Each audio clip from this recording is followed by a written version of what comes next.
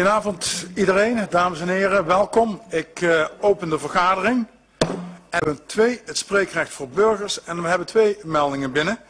Um, en alle twee de sprekers gaan over vliegveld Lelystad. En mevrouw Berghuis, u kent de spelregels, hè, vijf minuten. En als het daarna even blijft staan, is fijn. Dan kan de raad, leden uiteraard kunnen u eventueel vragen stellen als ze er behoefte aan hebben. Mevrouw Berghuis, ik geef u het woord. Ja, heel graag. Dank u. Geachte raadsleden en de burgemeester en wethouders. Het gaat over het vliegveld Lelystad. Dat over een groot gedeelte van een groot gedeelte van, een, uh, van onze gemeente gaat vliegen. Het besluit om uh, chartervluchten vanaf Lelystad te laten vertrekken staat vast. Alleen aan de vlieghoogte kan nog wat gedaan worden. Zoals u in de stentor heeft kunnen lezen, is er een alternatief berekend door de KLM-vlieger Hadriaan van Nes.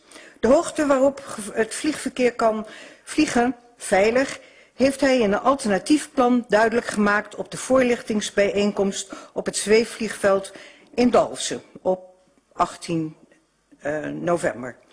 Waarom heeft, is er door BMW uh, is uh, BMW niet op de hoogte van het plan van, de, van waarop gevlogen wordt? De, de, burgemeester, neem ik aan, is uit hoofde van zijn functie, als ik dat mag lezen, um, dienstverlening, algemeen bestuurlijke aangelegenheden, openbare orde en veiligheid, rampenbestrijding, bestuurszaken en communicatie.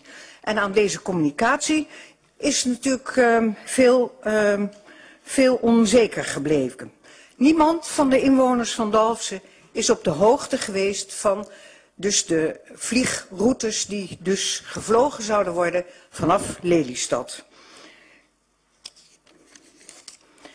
Waarom is er door de, door de gemeente, en dan kijk ik naar BMW en de raadsleden, niet gecommuniceerd naar de burgers? Waarom is dit niet gebeurd? Wat gaat burgemeester en wethouders ondernemen?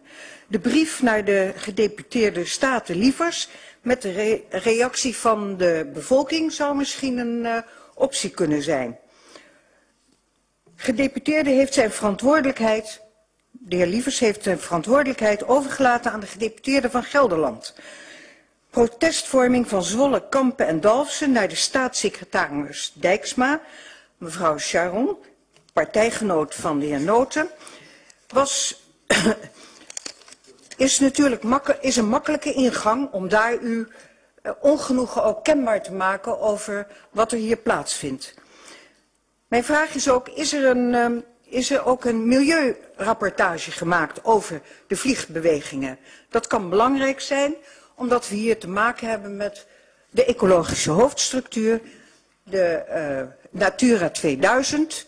En uh, we zitten ook met de, uh, de, eventueel de mogelijkheden van aanvaringen met vliegtuigen, met ganzen en andere vogels, dus roofvogels en dergelijke die op een bepaalde hoogte vliegen.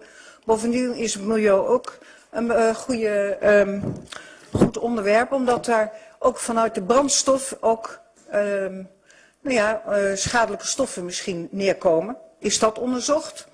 Dat zijn allemaal vragen die toch wel belangrijk zijn op dit, uh, voor, deze, voor dit project. Bovendien is er ook, kunt u er ook van uitgaan dat er een economische schade zal zijn. En die is misschien niet onaanzienlijk.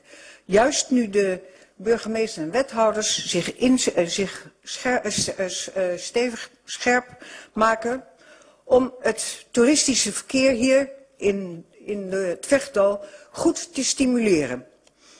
Dat kan dus een nadeelpost zijn, want wie wil er nog kamperen als je uh, s'morgens, middags en s avonds laagvliegende vliegtuigen over je camping of je bedrijf krijgt. Ik denk dat mensen heel snel na één keer wegblijven. Een niet onaanzienlijke schadepost eventueel.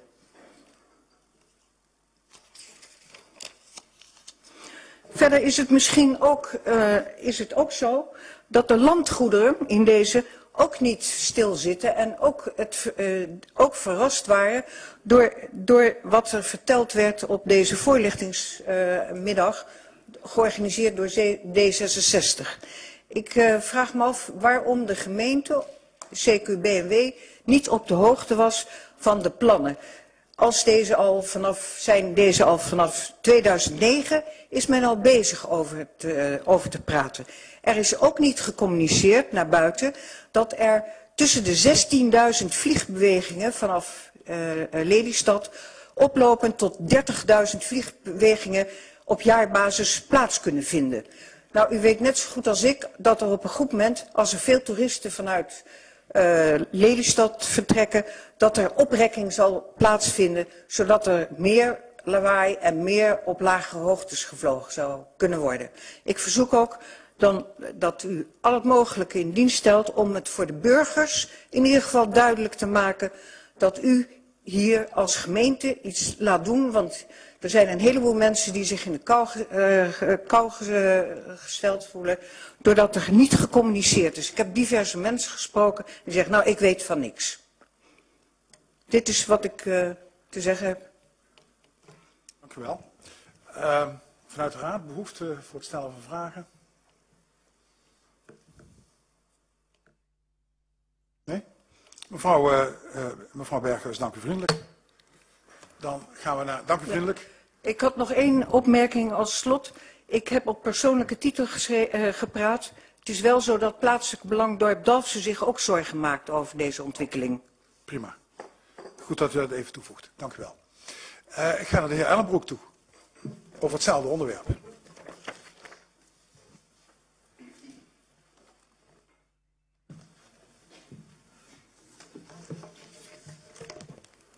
Dank u wel, voorzitter.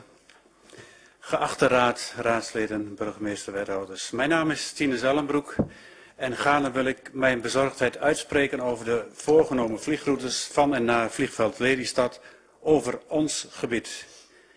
En met ons gebied bedoel ik het Vechtdal waarin Dalsen, maar ook mijn natuurcamping de Lemelen S in Lemelen en nog veel meer toeristische bedrijven in het Vechtdal. Zoals het er nu naar uitziet, zal ons dat een enorme overlast gaan bezorgen. Naar verwachting moeten wij rekening houden met 16.000 tot 45.000 vliegbewegingen per, jaar en mogelijk tot een, met een uitbreiding tot 60. Dat zijn op dit moment de kengetallen die voorhanden zijn. Dankzij een oplettende ondernemer van uw gemeente zijn we op, hoogte, op de hoogte van wat ons te wachten staat. Als ondernemer, als inwoner, als betrokkenen worden wij overvallen. Het is vijf voor twaalf om samen, gemeente Dalsen en allen die hier straks hinder van gaan ondervinden, tegen in protest te komen. De vliegbewegingen zullen s'morgens, overdag, maar ook s'avonds tot 12 uur plaats gaan vinden. Dit moeten wij niet willen. We krijgen straks met een enorme overlast van lawaai, verontreiniging en dierenleed te maken. En, en dat in, het gebied, in een gebied waar, welke op allerlei fronten beschermd wordt middels GAS, EHS, ecologische hoofdstructuur, Natura 2000. Dat is niet met elkaar te rijmen.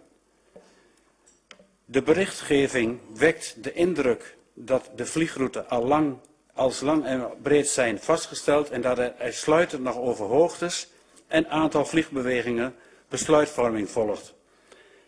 Het is mij in deze korte tijd niet gelukt voldoende informatie te verzamelen, maar ik, mijn vrees voor de toekomst van het toeristisch Vechtdal is zeer groot. Een kleine opsomming van de toeristische bedrijven die met de vliegroutes te maken krijgen is vanuit het zuiden gezien Camping Eskamp in Lemelen, Erve Afting Lemelen, de Lemelen S Natuurcamping, de Argeme S Bungalowpark, Camping Bergzicht in Gietem, Camping Denneoord, Zweefvliegveld Aeroclub Salland, Camping Starrenbos, Buitenplaats Gerner, Hotelrestaurant Mooie Rivier, Camping Agnietenberg Zwolle en nog diverse bed- en breakfast locaties in het Vechtdal. Bij de besluitvorming rondom de vliegroutes zijn wij als branche niet geïnformeerd. Rekron zal deze week dit punt ook inbrengen bij het gastvrij overleg, gastvrij Overijsseloverleg. Wat ik van u wil vragen is om als gemeente Dalsen in actie te komen tegen deze plannen. We hebben niet veel tijd meer. Op 22 december valt definitief het besluit. Uiteraard zal ik ook in mijn eigen gemeente alles in het werk stellen om aandacht voor deze zaak te krijgen.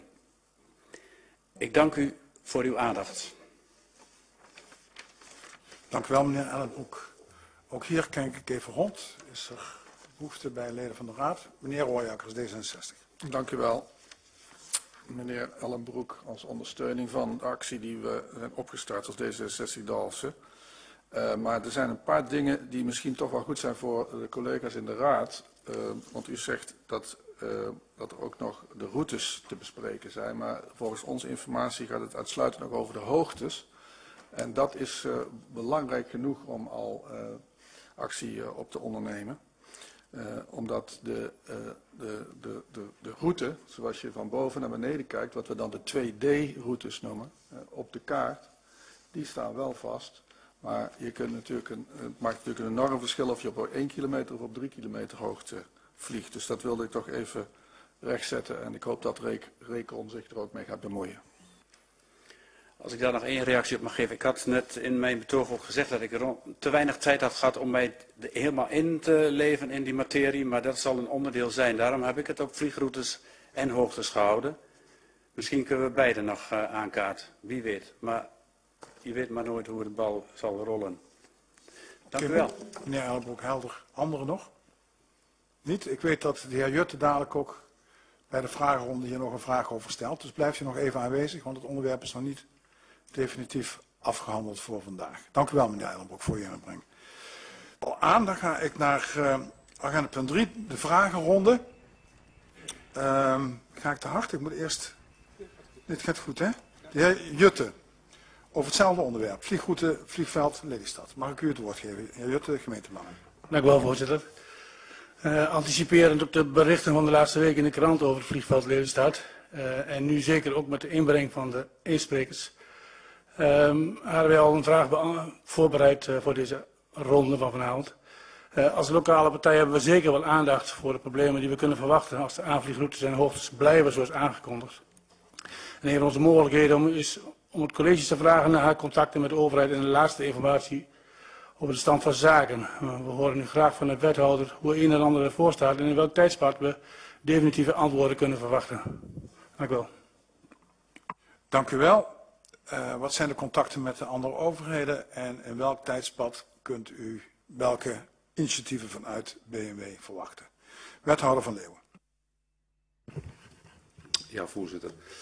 Um, ik ben uh, de bewuste 18 november aanwezig geweest bij de uh, betoog wat de, de, de, inleiding die de heer Van Nesta gehouden heeft. Er waren ook diverse raadsleden aanwezig. Ehm, het was, een, um, het was schrikken, want daar bleek ineens dat er um, iets over ons zich aan het is, voltrekken is zonder ons. Um, en het lijkt er haast op, ik kan me niet aan de indruk onttrekken, dat uh, zowel de provincie Overijssel als uh, de gemeente die het betreft in het Vechtal, en het is Hellendoorn, Omme, Dalfsen, Zwolle, Kampen, bijna bewust buiten het uh, hele traject gehouden zijn.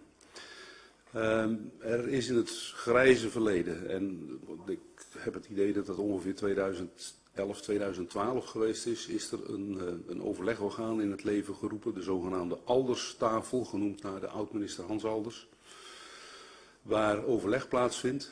Um, toen is er besloten dat de gedeputeerde van Gelderland ook namens Overijssel zou praten. En van de Overijsselse gemeente is er niemand aan tafel gekomen. Um, wat is op dit moment de stand van zaken? Um, de vliegroutes, zoals die um, straks gevolgd gaan worden, die zijn vastgesteld door de Tweede Kamer. Er is vervolgens een vervolgonderzoek geweest. Een bedrijf heeft opdracht gekregen om te kijken hoe ze dan op welke hoogte zouden moeten gaan vliegen.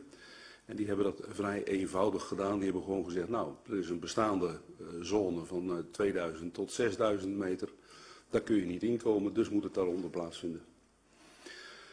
Uh, de heer Van Nes is zelf beroepsvlieger en samen met twee collega's hebben zij er eens naar gekeken. Zij komen tot de conclusie dat ze hier het Vechtdal eigenlijk nooit naderen onder de 4000 à 5000 meter. En ze zeggen die zone van 2000 tot 4000 meter, die is dus onbenut. Waarom ga je die nou niet benutten? Nou, daar is een heel plan opgeschreven. Gedeputeerde Lievers was ook aanwezig bij uh, de inleiding. We hebben een afloop bij elkaar gezeten. Uh, er is afgesproken dat de provincie nu het initiatief neemt om te achterhalen welke besluitvormingsprocessen er nog plaatsgaan. Het is niet zo dat 22 december definitief het doek valt. Ik vermoed dat dat weer een afspraak is van de Alderstafel. Gedeputeerde Lievers heeft, uh, stelt alles in het werk wat in zijn vermogen ligt om het alternatieve plan wat de uh, heer Van Nes met zijn collega's heeft opgesteld, om dat daar op tafel te krijgen en dat daar in bespreking te krijgen. Um, en waar wij nog mogelijkheden hebben om het uh, besluitvormingsproces te beïnvloeden. Morgenochtend, um, ik heb, wij hebben afgelopen morgen een gesprek gehad met de heer Van Nes, die heeft daar nog eens een keer de zaak toegelicht. En we hebben van gedachten gewisseld over hoe we hier nu verder in moeten gaan. Hij is zo vriendelijk geweest om afgelopen weekend een en ander voor u op papier te zetten.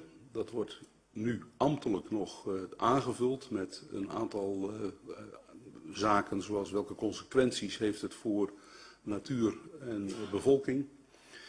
En wij nemen morgen, is de bedoeling in het college, besluit om te zien welke um, juridische mogelijkheden er voor de gemeente Dalfsen en de partnergemeenten zijn.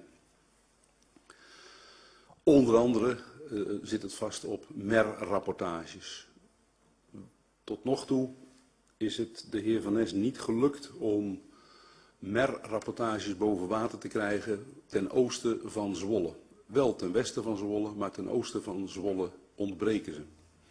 En we willen ze desnoods met een beroep op de wet openbaarheid bestuur uh, boven tafel krijgen. Want het heeft enorme consequenties als je hier op uh, tussen de 1000 en 2000 meter hoogte door het Vechtdal gaat vliegen met uh, Boeing 737's en Airbussen. Uh, omdat je op die hoogte bijna uh, vol gas moet vliegen, wil je nog de hoogte kunnen handhaven. Nog los van de ganzen, de ooievaars die rondvliegen, botsingen die mogelijk zijn, etc. Donderdag kunt u via de Griffie het uh, iets aangevulde, uh, de aangevulde notitie verwachten van de heer Van Nes, zodat u zich volledig op de hoogte kunt stellen. En um, ik stel mij zo voor dat we in de loop van de week ook weer even contact hebben met het provinciehuis om te horen hoe zij nu, de, wat zij nu gevonden hebben, welke, hoe ver ze staan in het uh, uitzoeken van de beïnvloedingsmogelijkheden.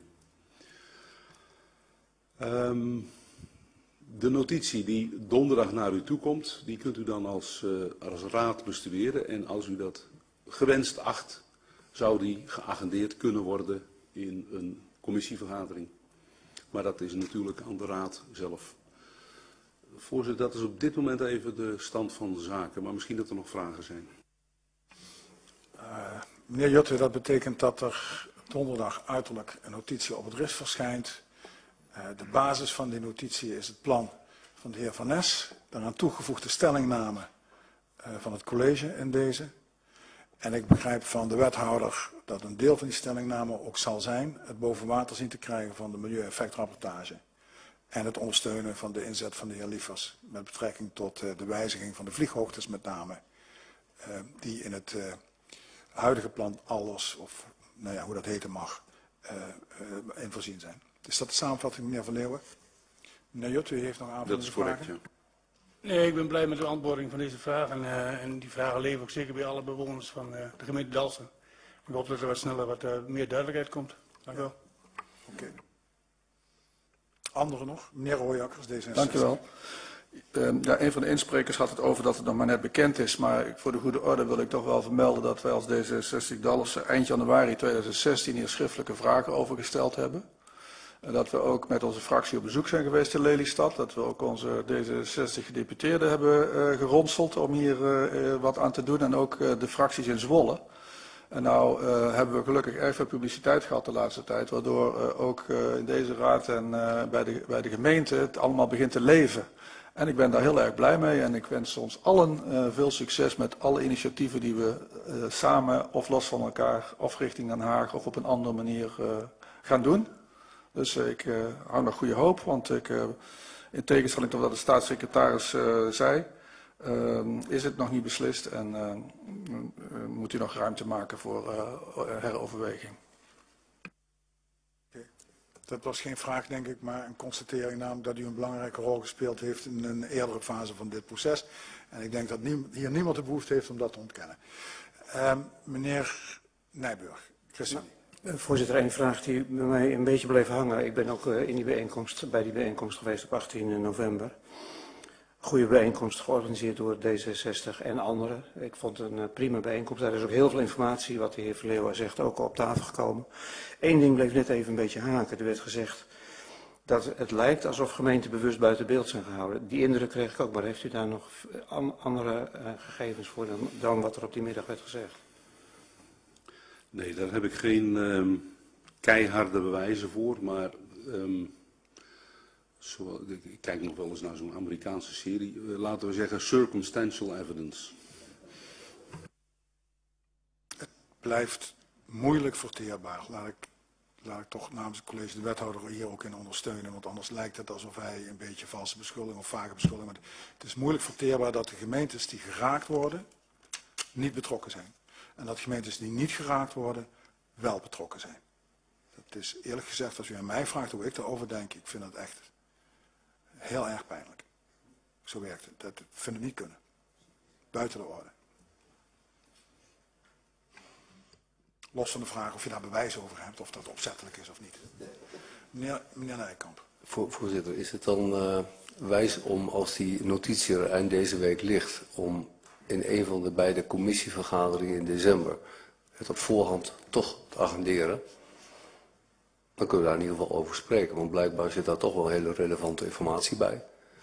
Um, zonder dat je dit nu al precies kan toxeren, maar het onderwerp leeft wel en er zit ook wel een, duidelijke zorg achter. Nou, als het dan ook vervolgens blijkt dat het een, een tijdspanne uh, betreft waarin we ook niet al te veel ruimte meer hebben, zou ons voorstel zijn, laten we het ook meteen maar agenderen. ik kijk even rond uh, hoe de raad daarover denkt. En dan zie ik een heleboel mensen instemmend knikken. En dan denk ik dat we dit in handen van de agendacommissie moeten leggen. Uh, in de wetenschap dat u allen het relevant onderwerp vindt. En volgens mij is er ook wat ruimte ontstaan in de agenda van december. Niet dat dat nou iets is waar we blij om zijn, maar dat is wel gebeurd. En misschien kunnen we die op die manier ook op een nuttige manier invullen. Ja, nou.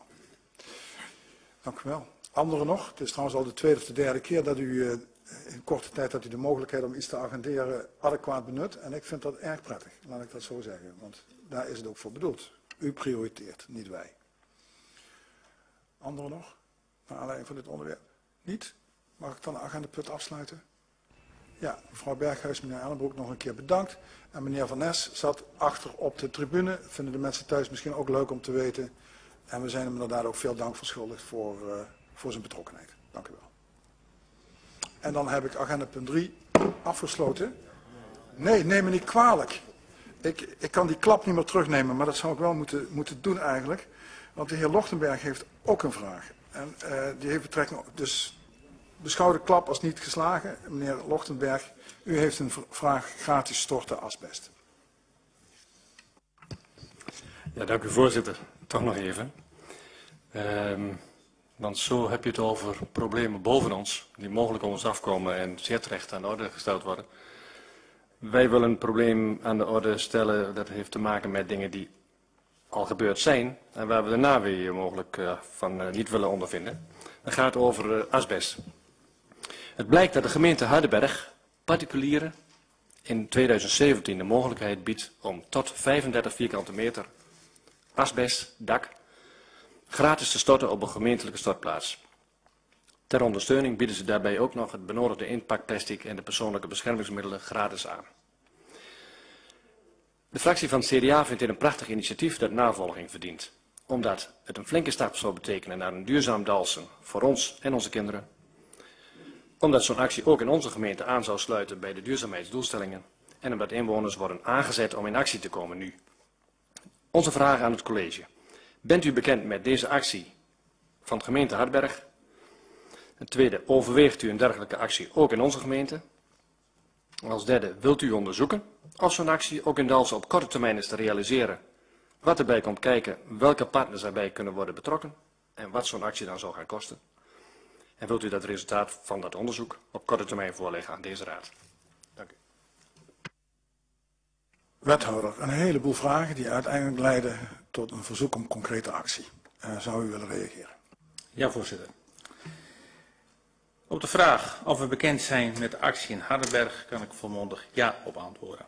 We hebben inmiddels contact gezocht met de gemeente Hardenberg en krijgen ook hun plan wat ze gepresenteerd hebben toegestuurd. En we gaan hun plan bestuderen. Wat Hardenberg ons wel vertelde en wat niet in het krantartikel is vermeld, is dat inwoners eerst een sloopmelding moeten doen. En dat doen ze om grip te krijgen op de actie en om ervoor te zorgen dat misbruik wordt voorkomen. Opgemerkt moet worden dat de inwoners van de gemeente Dalfsen al jaren na sloopmelding gratis asbestfolie en asbesttape mogen ophalen van onze gemeentewerf. Dit hebben we gedaan om de kans op illegale storten te verkleinen. Op onze website staat deze mogelijkheid vermeld en ook jaarlijks publiceren we hierover. Maar we constateren dat onze inwoners hier weinig gebruik van maken.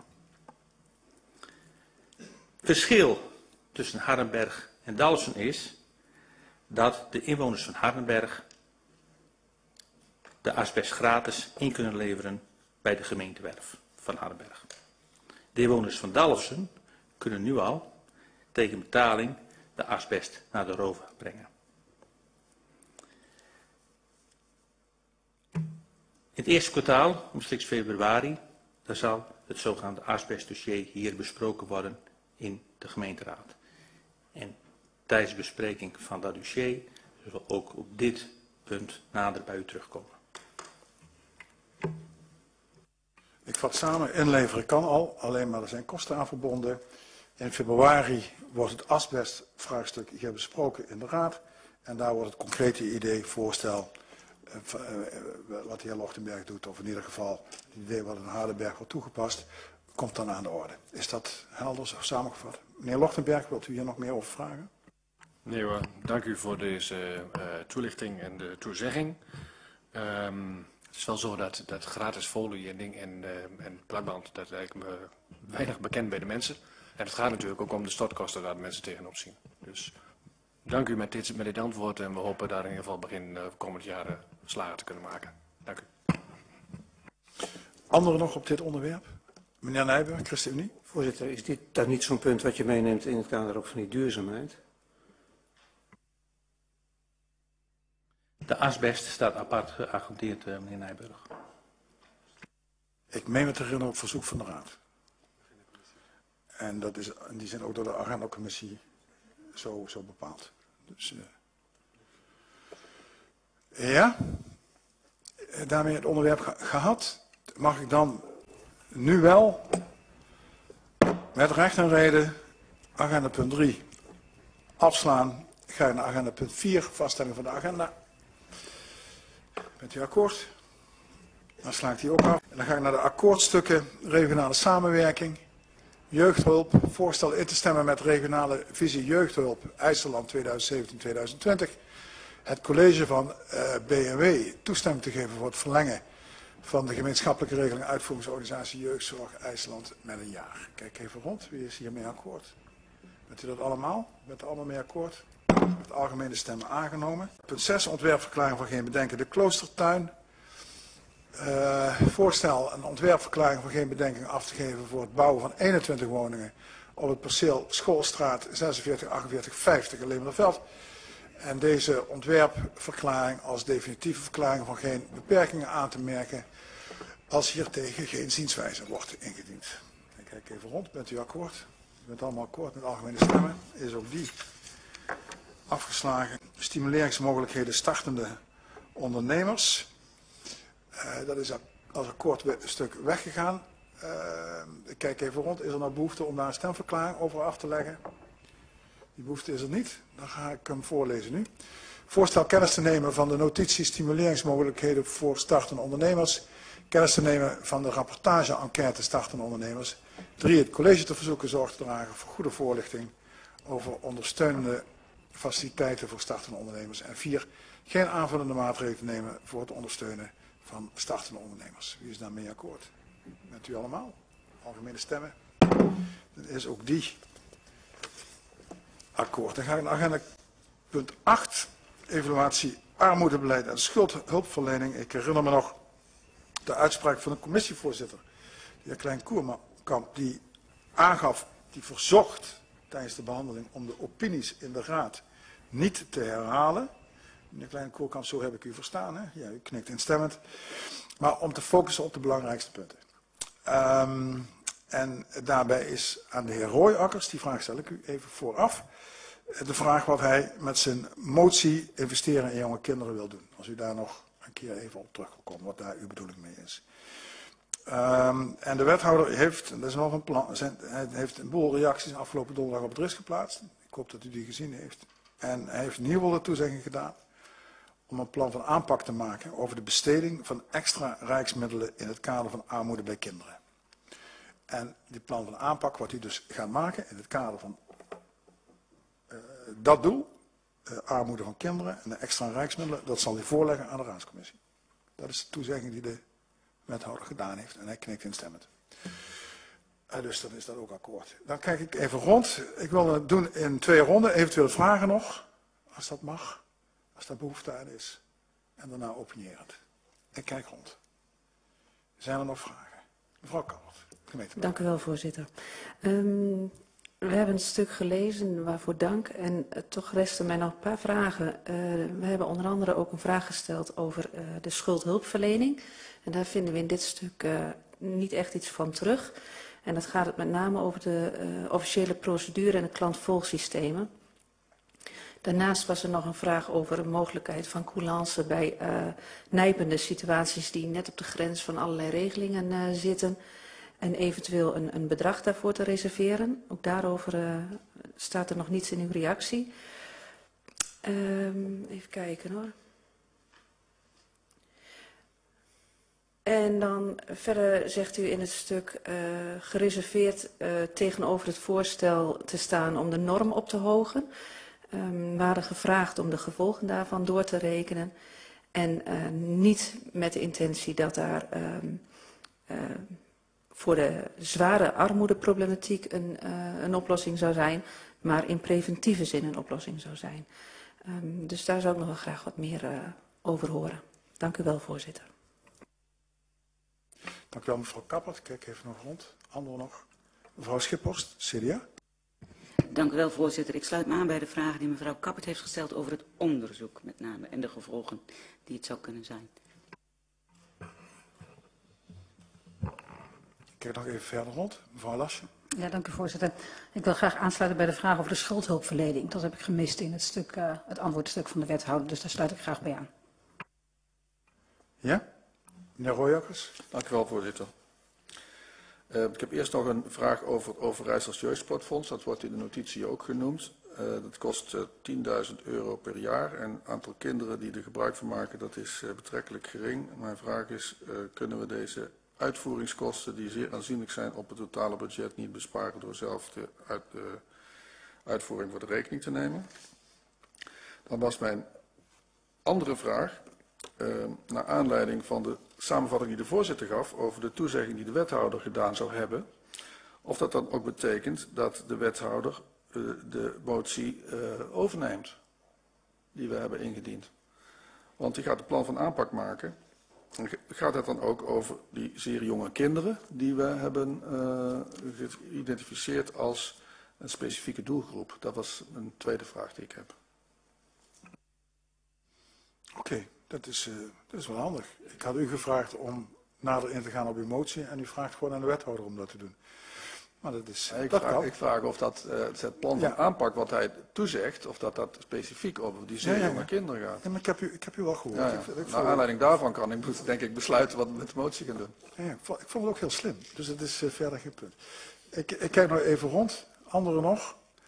Uh, wethouder, het gaat om de schuldenproblematiek. Het gaat om de vraag of u een onderzoek wil doen naar de effecten van het ophogen van 110 naar 130. en de impact daarvan. Ehm, en het derde eh, punt, ik, ik, ik, uh, ik, formuleer het even groe, moet, moet, de, moet uw toezegging gezien worden als een overnemen, het overnemen van de motie. En tot slot nog het wat meer technische punt van de, van de 10.000 euro van het sportfonds. Ja, voorzitter, dank u wel. Um, nou, uh, de gevolgen van het ophogen van de 110 naar 130 procent. Afgelopen donderdag heb ik u uh, bericht van uh, hoe wij daar tegenover staan.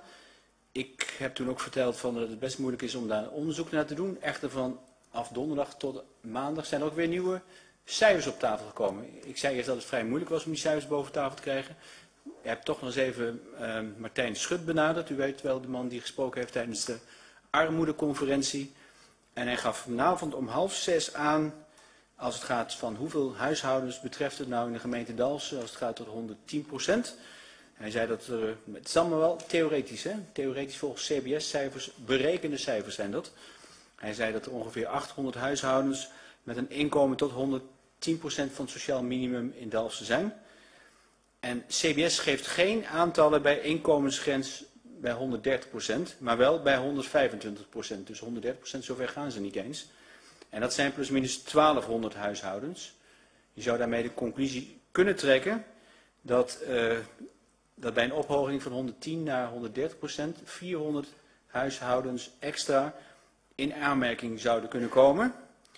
Maar de ervaring leert dat het, zo zegt hij, dat het bereik onder de doelgroep 110, 130 procent lager is dan onder huishoudens met een inkomen onder de 110 Dat zijn in ieder geval misschien wat gegevens waar u nog wat uh, aan zou kunnen hebben voor het eventueel uh, indienen van een motie wel of niet. Um, nou, dat denk ik dat wel belangrijke informatie is. Uh, meneer uh, Royakkers vraagt over de motie, hoe we daarin staan. Uh, ja, ik heb inderdaad vorige keer gezegd van dat er, we inspanningen gaan verrichten om uh, de gelden die beschikbaar komen, om die in te zetten voor jonge kinderen. En het plan, en hetgeen wat u zegt in de motie, komt ongeveer overeen met wat wij van plan zijn. Dus ik zou er geen overwegende bezwaren tegen hebben om daarmee akkoord te gaan. Alles wat erin staat, komt eigenlijk overeen met hetgeen welke intenties wij hebben. Dus dat is uh, voor zover ik het zo kan beoordelen. Ik heb inderdaad volgens mij over het klantvolgsysteem schuldhulpverlening. Blijkbaar is daar geen aandacht voor geweest in mijn schriftelijke beantwoording. En ik moet u ook bekennen dat ik daar ook niet uh, op dit moment uh, een paraat antwoord voor heb. Maar dat laat ik u uiteraard wel doen toekomen. Dat is blijkbaar even onder de aandacht uh, ontsnapt, aan de aandacht ontsnapt. Maar het precieze antwoord zal ik u daar zeker op geven. Ehm, een nijpende situatie is om daar een bedrag te reserveren. Het enige bedrag wat wij nu reserveren is van het Jeugdsportfonds. We hebben natuurlijk ook een aantal hele goede ambassadeurs. En die, uh, die slagen er keer op keer in om in ieder geval ervoor te zorgen dat er allerlei extra middelen beschikbaar worden gesteld voor het Jeugdsportfonds. Naast die 10.000 euro die wij beschikbaar stellen. En daar hebben we wel de afspraak mee gemaakt dat dat uh, ten goede komt. In situaties waar inderdaad uh, een grensgeval is of gewoon een nijpende situatie aan de hand is in overleg met sociale zaken om daar een pas, passende oplossing voor te vinden. Dus dat is het bedrag waarvan ik kan zeggen van, daar hebben we inderdaad wel een potje voor. Um, en volgens mij heb ik daarmee de antwoorden gegeven, voorzitter. Hoewel er eentje nog open staat, ook in preventieve zin, preventieve zin, is één vraag geloof ik. Maar wat bedoelt u daarmee? Was, Nee, dat was gerelateerd aan het onderzoek. Ja. Uh, u refereert in uw stuk aan het feit dat je daarmee de, uh, de zware armoedeproblematiek niet oplost. Maar dat was ook niet onze insteek. Want dat beseffen wij ons ook ten zeerste, nee, nee. dat daar geen oplossing voor is. Maar dat het juist is om te voorkomen dat mensen in de schuldenproblematiek geraken. Dus dat was mijn toevoeging. Mag ik nog één vraag aanvullend stellen, uh, voorzitter? Ja, dat mag. Uh, want uh, u zei net uh, die nijpende situaties en die relateerde u aan het uh, jeugdsportfonds. Um, het gaat mij om de bredere zin van het woord. Ook de mensen die bijvoorbeeld onder bewindvoering of die bewindvoering nodig hebben, maar die dat niet kunnen krijgen om allerlei redenen en wel op die grens zitten. En dan zou ik zeggen van nou, de vraag is eigenlijk, is daar voldoende ruimte voor, ook binnen die bedragen die er zijn? En anders zou daar misschien wel een potje voor mogen zijn. Nou, wat ik hoor van Humanitas in stap 1 is dat daar wel degelijk ruimte voor is en dat men daar altijd wel in praktische zin daar een oplossing voor weet te vinden. En dat er zoveel regelingen zijn dat er uh, in Dalfsen altijd gebruik van wordt gemaakt en in ieder geval opgestuurd wordt dat er gebruik van gemaakt kan worden. Dus dat is zeker, zeker zo. Uh, wethouder, u heeft nu een deel van de, het verzoek, namelijk door een onderzoek naar de effecten, impact, heeft u beantwoord door iets te zeggen over het aantal gezinnen waar het eventueel, die eventueel uh, daarvoor in aanmerking komen. Dat is maar een deel van de vraag, want het gaat dan vervolgens ook over de betekenis. Van die, die, tenminste, ik neem aan, dan kijk ik even naar mevrouw Schippost en mevrouw Kappert. U wilde, denk ik, dat, dat iets uitgebreider beantwoord hebben. Is het mogelijk dat u daar nog een keer schriftelijk op terugkomt? Nou, dat, heb ik gepoogd in de schriftelijke beantwoording, die donderdag tot, uh, tot de fracties is gekomen. Ik heb ook gezegd van dat we daar gereserveerd tegenover staan om van 110 naar 130 procent uh, die, dat te verhogen, omdat het maar een deel, oplossing biedt voor een deel van het probleem. Omdat je natuurlijk ook te maken hebt met een tal van andere zaken. En het is ook zo dat het uh, afhankelijk is van inkomen, vermogen, huishoudbestanddelen. En de vraag, als je het verhoogt van 110 naar 130 procent, is wel de vraag, wat doe je dan met die groep van tot 110 procent? Daar moet je juist veel meer inzetten op preventie, signalering. En, uh, nou ja, en dat, dat heb ik gepoogd ook in de schriftelijke reactie te geven. En volgens mij uh, maakt dat deel uit van de beantwoording. Oké, okay, uw antwoord is helder. Um, zijn we nog in de vragenronde, meneer Wildvank, of wilt u naar de opinierende? Ja, zullen we afspreken dat, dat, we, dat we dan nu even alle vragen nog ophalen, zodat we die dan ook even gehad hebben? En dan kunnen we dan... Uh, nou, ik heb een vraag aan de, aan de vraagsteller. Oké, okay, dat is prima. Oh, neemt u nu kwalijk. Ja. Meneer Wildvank. Dank u wel. Um, ja, ik heb het antwoord van de wethouder wel gehoord. Ik had ook de schriftelijke beantwoording wel gezien. Ja, daar, daar moet je dan maar wat van vinden. Dat laat ik graag even aan mevrouw Kappert over. Maar de vraag die ik nu, ik dit hoor, nog wel even heb aan de vraagsteller, is van, oké, we gaan onderzoek doen naar het effect van die mogelijke ophoging naar van 110 naar 130. Maar wat mag het kosten? Hoe, wat, wat is voor u een antwoord wat maakt dat u wel of niet die 130% gaat accepteren? Wat mag die armoede kosten? Mevrouw. Dat is een mooie vraag. Uh, ik heb er geen uh, bedrag bij. Uh, omdat ik er ook geen zicht op heb. En uh, wat wij belangrijk vinden is dat er inzage komt in wat gaat dat kosten. En, um, maar ook ten koste van wat gaat het dan. En het mag niet zo zijn. Voorop staat dat mensen hun eigen geld moeten verdienen. Dat vind ik de eerste insteek. Maar op het moment dat dat niet mogelijk is, dan moet er iets zijn wat maakt dat het leven leefbaar blijft. Ik heb geen zicht op uh, bedragen op dit moment, durf ik ook geen uitspraak over te doen. Maar dat is juist de reden waarom we hebben gevraagd van reken nou eens door en wat zijn nou de consequenties? Want ik heb er echt geen zicht op. Wat betekent het nou als we die norm op zouden hogen? Van 110 naar 130 of iets daartussen, maar het liefst naar die 130. Is dat voldoende antwoord?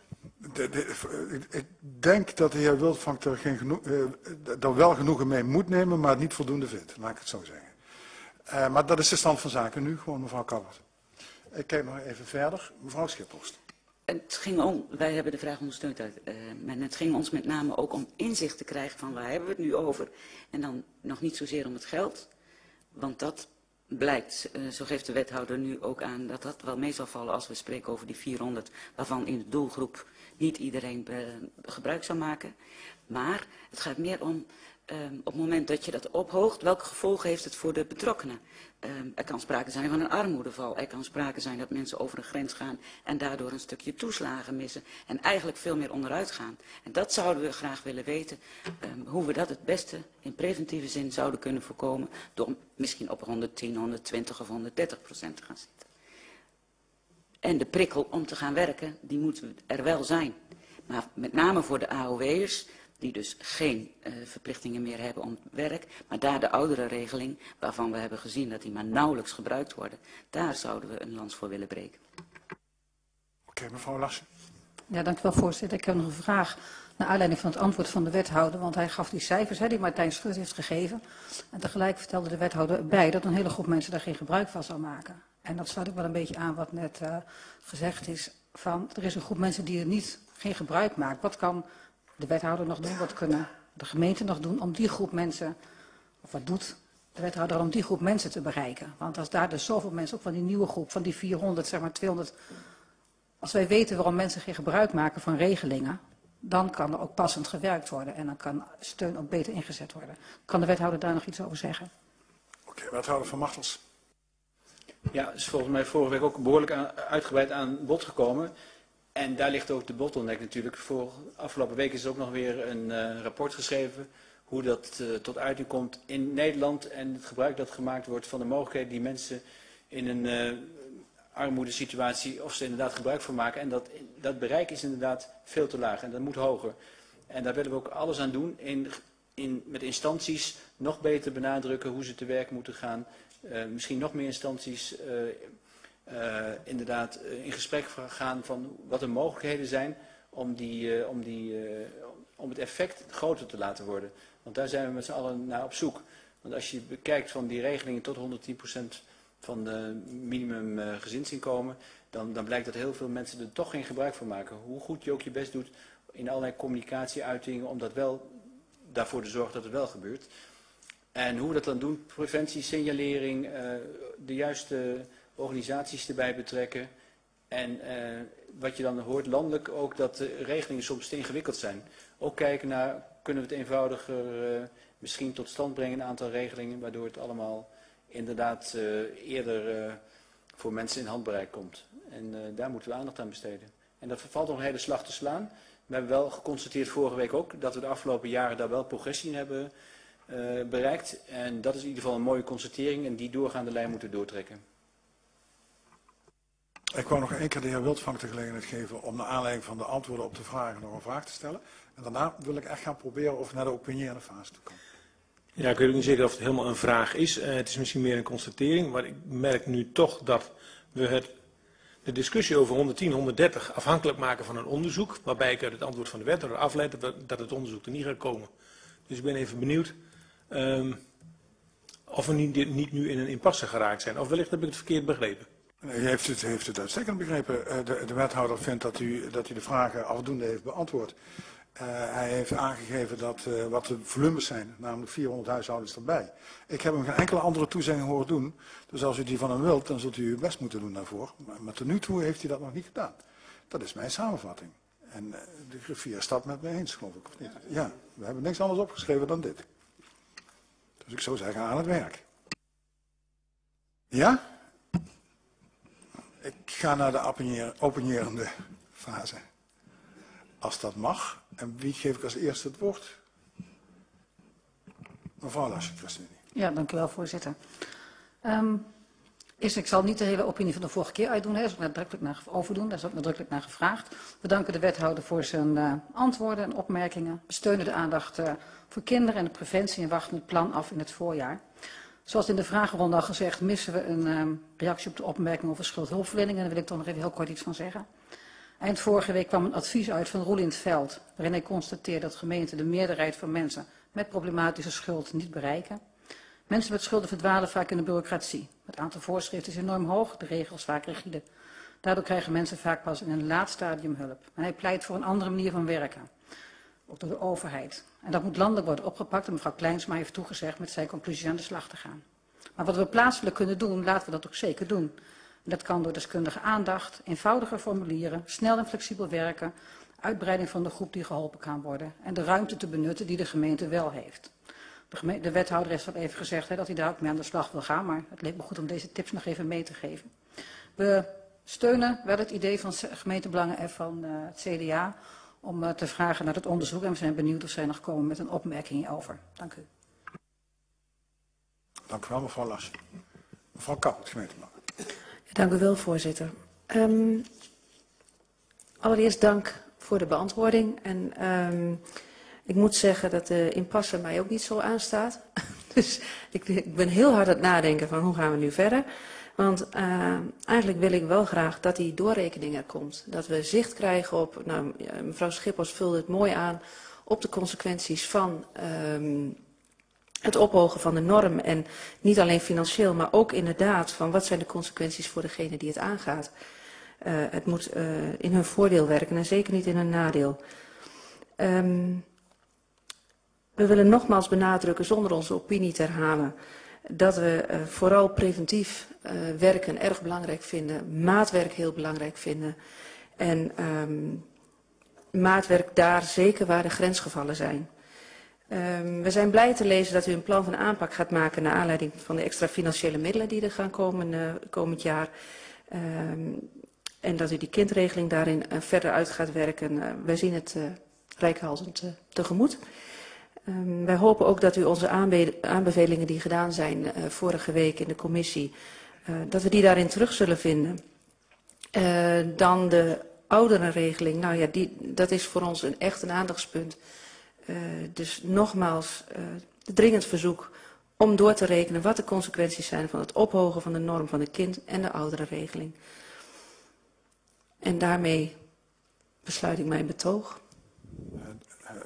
Dank u wel. Ik, ik, maak even een tussenstandje op. Dat kan ik nu alvast. Ik kijk ook even naar mevrouw Schippost. Ik weet niet wat zij gaat zeggen. Maar, maar in ieder geval uh, uh, richting de wethouder. Ik, ik hoor nu al een meerderheid van de raad aan u vragen om een, om een toezegging te doen. En mijn advies aan de raad zou zijn dat als de wethouder die toezegging daar niet doet, om dan gewoon als raad te doen wat je moet doen, namelijk een motie in te dienen. En ik ben uiteraard ook bereid om daarvoor een schorsing uh, te aan te. Maar ik denk dat dat dan de manier is waarop het moet. Ja, misschien dat de wethouder die motie onnodig maakt. Maar, maar nou ja, toch, zo moeten we. Mevrouw Schippost. Zo is het, voorzitter. Dank u wel uh, dat ik het woord even mag voeren over zo'n belangrijk onderwerp als het armoedebeleid. We danken de wethouder voor alle reacties en uh, de informatie die we uh, aanvullend hebben gekregen. Wij maken ons vooral zorgen om de ouderen en de kinderen en ook de agrarische gezinnen. Kinderen moeten volop de kans krijgen om zich te kunnen ontplooien en ook meedoen aan alles, zonder mitsen en maren. En um, u heeft aangegeven uh, volop in te zetten op communicatie, ook om in preventieve zin zoveel mogelijk mensen te bereiken uh, die mogen gebruik maken van de uh, regelingen die er zijn.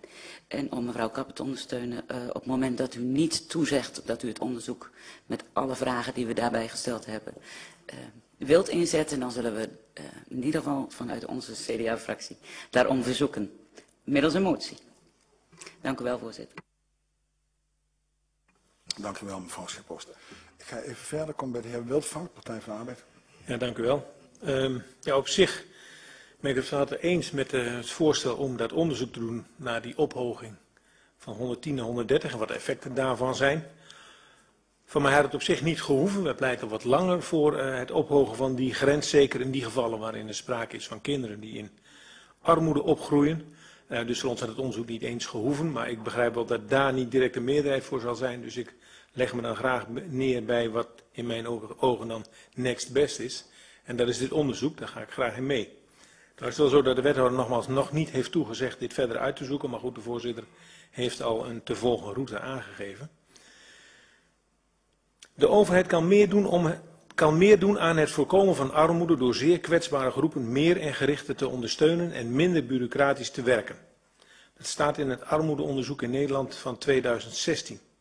In dat rapport worden voor landelijke, gemeentelijke en kerkelijke instanties aanbevelingen gedaan wat te doen bij armoede. Veel van die aanbevelingen liggen in lijn met hetgeen we hier ook over gesproken hebben. En ook tijdens de commissie. Ik beveel het rapport nog van harte aan de aandacht van het college en ik zal het zo aan de wethouder toesturen. Dank u wel. Dank u wel, meneer uh, Wildvank. Meneer Royakkers, D66. Dank u wel, voorzitter. Op de eerste plaats uh, dank uh, dat de wethouder de motie die we hebben aangehouden over uh, specifieke aandacht voor jonge kinderen uh, gaat omarmen en in een specifiek plan van aanpak gaat meenemen, waarvan ik hoop dat we erg veel dingen terugzien. We hebben het gehad, gehad over vroegsignalering middels consultatiebureaus, begeleiding van ouders bij de opvoeding, inzet van gastoudergezinnen en extra middelen. Ik hoop alleen dat u erin slaagt om dat wat eerder dan april, mei te presenteren, uh, voordat het nieuwe uh, schoolseizoen weer begint en alles in, uh, in, in orde komt. Uh, ik kan er niet te lang mee wachten. Uh, ik ondersteun uh, de vraag voor onderzoek, waarbij uh, het zo zou moeten kunnen zijn dat je niet alleen weet hoeveel huishoudens er in die, uh, die, die categorieën vallen, maar dat je ook weet uh, de eigenschappen van die huishoudens. Wat zijn de leeftijden? Zijn er jonge kinderen in die huishoudens? Dat zijn, dat zijn gegevens die we graag willen zien. En dat moet ook kunnen, zeker met de huidige manier waarop dat we geautomatiseerd zijn in de gemeente.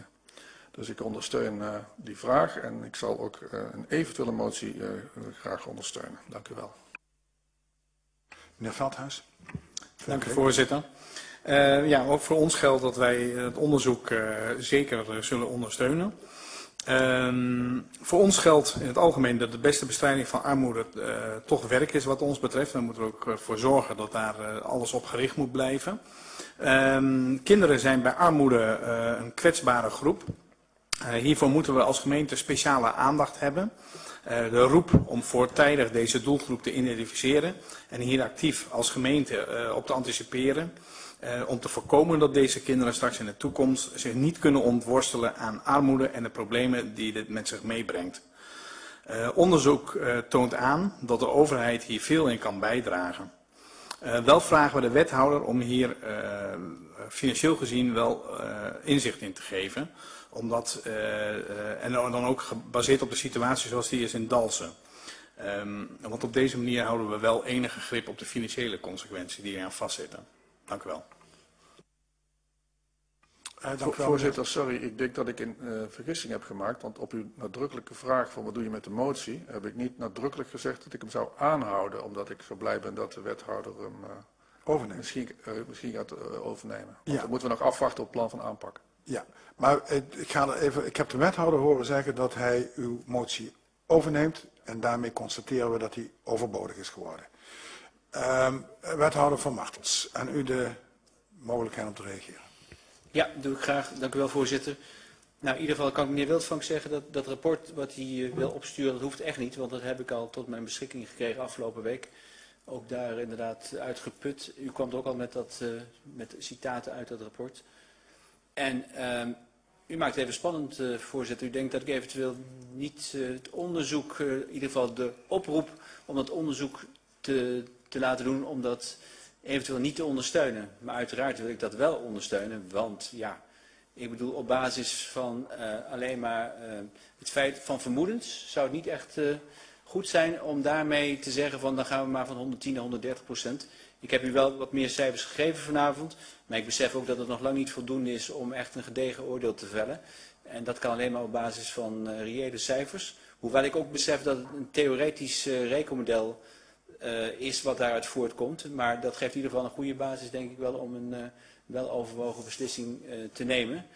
En dat kan, dat kan wel eerder dan april, mei tot u komen als het gaat over dat voorstel voor de kindregeling om die gelden te goed te besteden. Dat zal echt niet eerder worden dan april, mei.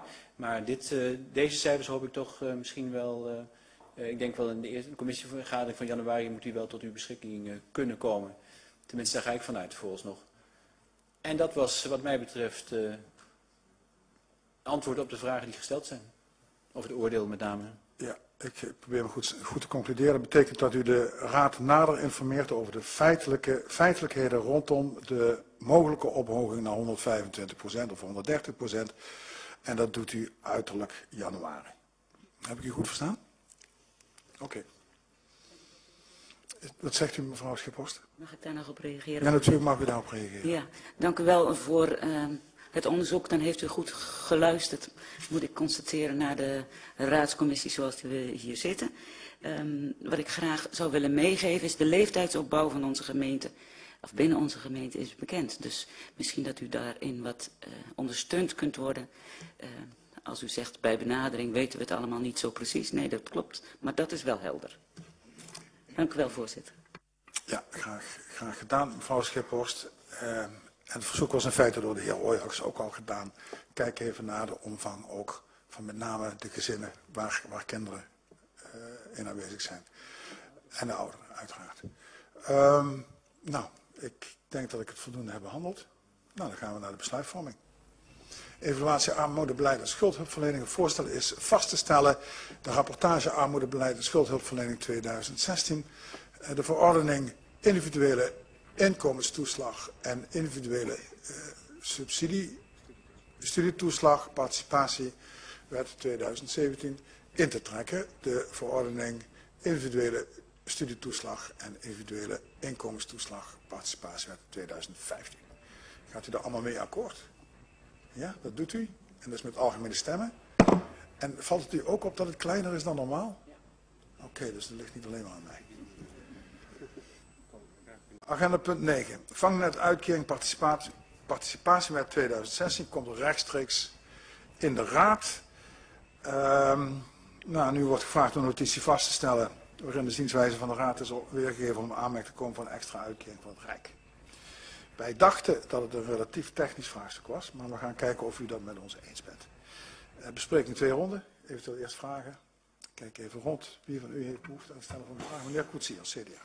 Dank u voorzitter. Ja, ik heb een uh, eenvoudige vraag denk ik. Uh, in de notitie staat dat het onduidelijk is uh, hoe de landelijke verdeling van het budget tot stand komt. En ik vroeg me gewoon af van wat doet de gemeente nou eraan om dat wel helder te krijgen. Dank, dank u wel. Anderen nog? Ja. Meneer Kleinkoorkamp. Uh, ja, ook uh, eigenlijk, of technisch, maar uh, in het analyse praat u over dat het aantal, of het bestand aan het afvlakken is. Maar ik voelde mij daarover in verband met het projectplan reïntegratie 2017-2018, waar we net over gesproken hebben, dat we met de instroom van het aantal statushouders volgend jaar, hoe denkt u dat te realiseren om die afvlak door te zetten? wethouder, ik ken nog even verder rond, wethouder van Leeuwen, waar, waarbij ik u zou willen vragen om niet de participatiediscussie te gaan voeren. Want die is niet aan de orde, meneer Klein-Koelkamp. Er kan wel iets over gezegd worden, maar uh, dat, is, dat is echt een ander vraagstuk. Het gaat hier echt ook om in aanmerking te komen voor een bijdrage aan het Rijk. En dus in die zin ook het aanleveren van de formele informatie en feitelijke informatie. Meneer Rooijakers, D66. Dank u wel, voorzitter. Um, dus er staat een notitie in onder handhaving dat er over de afgelopen jaren nauwelijks opmerkingen zijn gemaakt naar aanleiding van de interne controle. Ik snap die zin helemaal niet. Uh, zeg maar, door wie zijn opmerkingen gemaakt en is nou de bedoeling van die opmerking dat de compliment wordt gemaakt aan de ambtelijke staf of zit daar iets anders achter? Ik, snap die vraag niet. En het tweede is over het beleidsplan wordt gezegd dat het nog steeds actueel is het bedrijfsplan participatiewet uh, 2015-2016. En mijn vraag daarbij is, uh, is het ook nog, voldoet het dan ook nog goed volgens het college? Meneer Veldhuis. Dank u voorzitter. Uh, we hebben twee vragen. Um, u stelt dat het lastig is om de gegevens, uh, de, de, oorzaken uh, te achterhalen. waarom wij in Dalsen nog steeds negatief, eigenlijk afgelopen jaren een negatief beeld laten zien op structureel uh, niveau. En nou is even de vraag van hoe doen wij ten opzichte van andere gemeentes in de gemeente, in, in, onze omgeving. En een andere vraag die we hebben is van u stelt in de notitie het volgende. Gemeenten met een overschot doen bijvoorbeeld niet significant meer of minder aan reïntegratie of handhaving dan gemeentes met een, een tekort. Geldt dit ook voor Dalsen als we dit vergelijken met andere gemeentes? Wethouder. Voorzitter, ik had het op prijs gesteld als er een aantal vragen van tevoren technisch gesteld zouden zijn. Nee, dus ik ga ze ook niet allemaal beantwoorden. Uh, meneer Koetsier, het is onduidelijk hoe de landelijke verdeling is. Ja, dat is ieder jaar het geval. Dit is een, uh, een, een uh, de procedure die we hier nu volgen is dat wij moeten kunnen aantonen dat wij de raad bij tijds um, hebben geïnformeerd en hebben meegenomen in het proces om überhaupt de aanvraag te kunnen doen. Nou, dat is hier in dit volgens mij hier duidelijk het geval, dat de raad bij tijds wordt geïnformeerd. Um, als u kijkt naar uh, de landelijke verdeling, ja, wij weten dat achteraf hoeveel er wordt uitgekeerd en hoeveel er wordt toegekend. Dus dat is een, um, uh, niet anders dan uh, rustig wachten wat je wordt toegewezen. Gemeentebelangen, de bestanden vlakken af. Hoe zit dat met de instroom van statushouders? Ik heb geen idee. Uh, gaan we het afvlakken doorzetten? Nou, als we kijken naar de staat op bladzijde 2 van het uh, stuk, dan zien we dat we in 2010 een tekort hadden, in 2011 en 2012 een overschot en daarna weer uh, tekorten. Dus dat, dat fluctueert ook nog eens. En ik vind dat heel lastig om daar nu iets over te zeggen. Ik wil vragen of u daar schriftelijk over geïnformeerd kunt worden. Meneer Rooijakkers, nauwelijks opmerking interne controle. Nou, dat is ook zo'n vraag waarvan ik zeg, had dat even van tevoren gedaan. Intern wordt er van tevoren gekeken of dat mensen zich uh, houden aan de afspraken wat betreft uh, het uh, besteden van de budgetten. Kennelijk wordt het hier netjes gedaan. Is het beleidsplan participatiewet nog actueel? Ja, want het loopt tot en met 2016, dus dat is einde van dit jaar. Voldoet het nog, bij mijn weten, op dit moment nog wel. VVD lastig te onderhalen. Hoe doen we ten opzichte van andere gemeenten? Dat zal uitgezocht moeten gaan worden. Ik hoor u zeggen dat u op de vraag van de heer Klein-Koerkamp over de afvlakking, dat u daar schriftelijk op reageert, dat u de vergelijking ten opzichte van andere gemeentes, de vraag van de heer Veldhuis, dat u daar ook schriftelijk op reageert. En dat u aangeeft dat, eh, weliswaar wat indirect en wat, wat moeizaam, maar dat u aangeeft dat de vraag van de heer Rooijakkers over de opmerking van de accountants in feite gaat over het feit dat de accountant tot nu toe geen opmerking heeft gemaakt over de rechtmatige besteding van de middelen. Exact. In het kader van de participatie. Dus het is een rechtmatigheidsvraag. En ik heb de VVD niet toegezegd dat we een benchmark gaan doen. Ik heb gezegd dat zal onderzocht moeten gaan worden. Ik heb niet gezegd dat we het gaan onderzoeken. Oké, okay. dat is een, dat, dat, is, ja, zoals u ook een groot voorstander van wereldvrede bent, bent u er ook voor dat dit onderzocht gaat worden. Precies. Meneer Veldhuis. Oh, nee, ik zie de relevantie namelijk absoluut niet. En dat zal ik u uitleggen. Uh, wij geven uh, over 2015, dat is een, een jaar terug hè, al, geven wij uit, sorry, geven wij uit 2,6 miljoen en we krijgen van het Rijk 2,3 miljoen. Dat is een verschil van, zeg even, 300.000 euro. Dat proberen we binnen de spelregels die daarvoor afgesproken uh, zijn terug te krijgen. Wat maakt het nou uit of Raalte dat ook doet? Wat maakt het uit of, of Omme dat doet? Het gaat hier om het geval Dalfsen. En ik vind een benchmark in deze nutteloos. Voorzitter, dan vind ik dat toch een iets duidelijker antwoord. Uh, meneer Veldhuis. Uh... Ja, als ik nog even mijn vraag dan misschien iets mag verduidelijken, want het gaat mij niet zozeer om een benchmark. Uh, het gaat mij wel om de achterliggende oorzaken waarom, de, de, waar, waarom wij te maken hebben met een structureel tekort. U geeft aan in uw stuk namelijk van dat het lastig is om die oorzaken te onderzoeken. En te, onze gedachte daarbij is van, is, is, zijn dat soort achtergronden wel bekend bij andere gemeentes? Ik heb naar de heer... Nou, die vraag, die, of het bij andere gemeentes wel bekend is, die zal ik uh, laten stellen. Ja, en, en, en meneer Veldhuis, ik, ik maak die opmerking ook naar de heer, heer Klein-Koorkamp, maak hem nu ook naar u. Het is wel een onderwerp wat echt thuis hoort bij de uitvoering van de participatiewet, een meer bredere zin. En, en dit gaat, en ik, en ik, wil even toch ook het punt van de heer Van Leeuwen nog een keer helder maken. Dit gaat om het, als het ware, claimen van rijksmiddelen om het tekort te financieren. Dat gaat dus, het is, dat is wat ik bedoel, het is ook gewoon echt technisch. Want anders gaan we het nu over de participatiewet hebben. Volgens mij hebben we het daar de vorige week over gehad, over twee weken geleden. Um, maar goed, de vraag is wel genoteerd en u krijgt daar een antwoord op. Ik ga even rondkijken. Dit waren de inhoudelijke vragen. Opinierend nog behoefte? Als daar nog uh, iemand de moed heeft. Mevrouw Lasje. Ja, ik heb zeker wel de moed. Uh, wij vinden het helemaal prima. Één heel klein puntje, wil ik alles wel vaststellen. Eén klein puntje in de notitie die erbij zit, wordt gezegd maatregelen om dit tekort te reduceren. En dan wordt er eerst gepraat over handhaving en dan over reintegratie. Als er nou eens weer iets opgesteld gaat worden, zou ik liever reintegratie voorop zetten en dan handhaving als tweede. Dat vind ik gewoon aardiger als het gaat over welk beleid we willen voeren. Reintegratie, daar begint het beleid mee. Maar dat is een, alleen maar even een opmerking. Voor de rest zijn we daarmee akkoord. Oké. Okay. Anderen nog? Meneer Koetsie. Nou, heel, heel kort. Um, uh, wij zijn het gewoon, uh, we, we, zijn blij met de bijgevoegde notities over, uh, over de verkrijgen van werk. Dat is voor ons uitermate belangrijk. Dus wat ons betreft volle vaart daarmee. En wij zijn verder akkoord met het voorstel.